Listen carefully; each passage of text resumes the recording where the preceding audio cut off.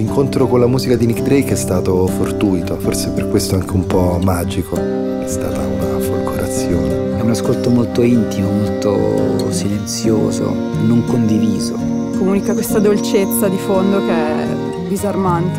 Quel suo modo di suonare, quell'intimità faceva sì che mi sentissi meno solo quando mi sentivo vulnerabile. Somebody of 20 to turn out lyrics like Fruit Tree is just extraordinary. And that's why this material's got the longevity that it's got. When I listen to Nick Drake, I don't feel like anything's missing. I don't feel like I need to know anything about him. Pink Moon per fortuna esiste, per fortuna l'ha fatto, perché ti fa capire davvero che cos'era lui. C'è qualcosa di avvolgente e totalizzante nelle sue canzoni. È sorprendente come questa cosa crei un'immediata sintonia tra le persone che si sono innamorate e che amano la musica di Nick Drake.